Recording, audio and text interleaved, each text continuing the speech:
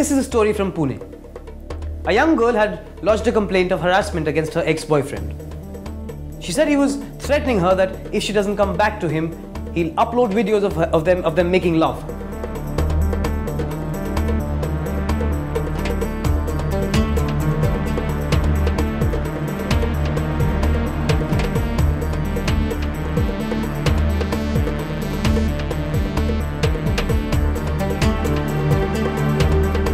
Boy was checked. No video was found, but he was straightened up and she was sent back. He was asked not to trouble her again. Six months after that, she was found dead in her house.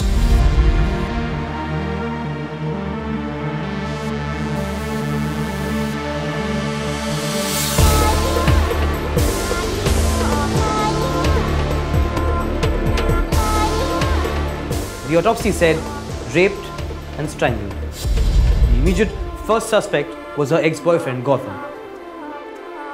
They went to Gautam's house and they found out that Gautam had passed away more than two and a half months back due to poisoning.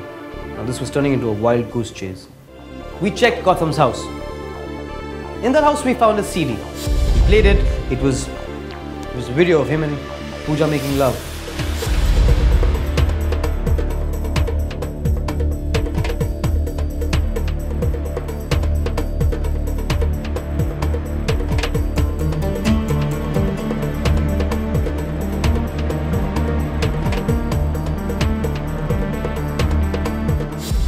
I was getting a dirty feeling that he might have just done what he was threatening her to do. He might have uploaded it.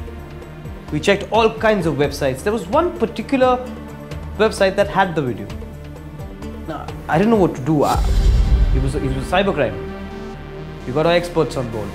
We tried to check who had uploaded it, but we, we couldn't, couldn't find the, the person. We couldn't find the IP address it was uploaded from. I felt like there was a third person involved. It was all too, too perfect. We waited, it became a, a cybercrime. We had to sit on it and wait and see if anybody was making a mistake. Someone did. A couple of months later, there was a comment on that video. Someone had written, What a slut she was. Was. Whoever it was knew she was dead. We tried to tag the, the IP address of, of that comment. And we did. Guess where it led us? To Gautam's former office. It was not only Gautam's former office, it was also Pooja's former office. On further investigation, we found out that there were only two people working in the IT department of the office. One of them being Gautam. It was narrow enough. The other guy's name was Ramesh. But now I'd, I'd had enough. I, I was not up for a conversation. I just called Ramesh out and I took him to the dark room. We spoke for most part, and there was lights, ice, sticks. In a few hours, Ramesh cracked.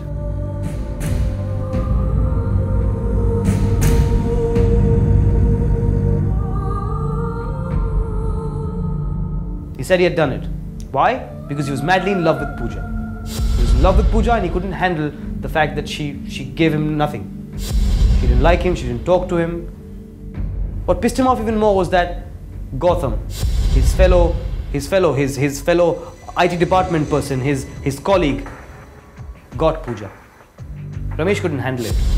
Ramesh also secretly used to used to hack into hack into Gautam's computer and, and go through his stuff. That's where he found the, the tape, the lovemaking tape.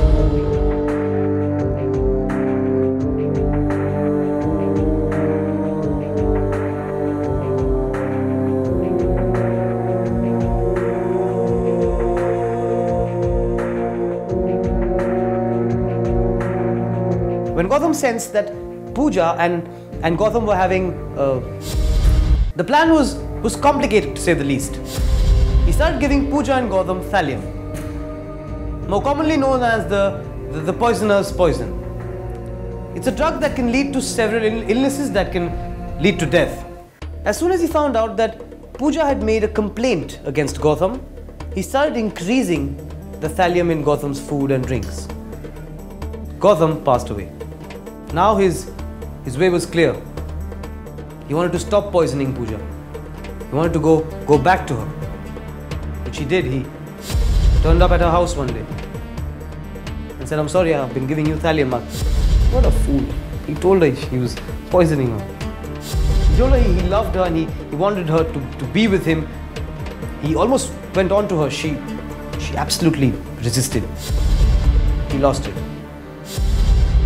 He strangled her. He raped her.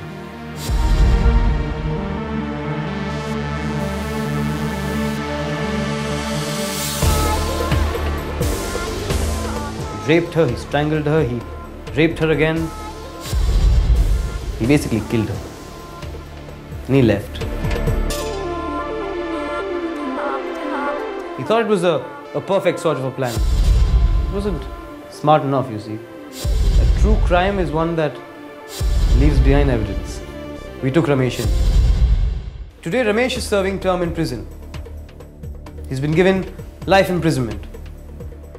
To reduce his punishment, he's offered the, all the inmates that he'd, he'd teach them IT, information technology. Poor Ramesh. If love wouldn't have come in his way, he would have been a successful person.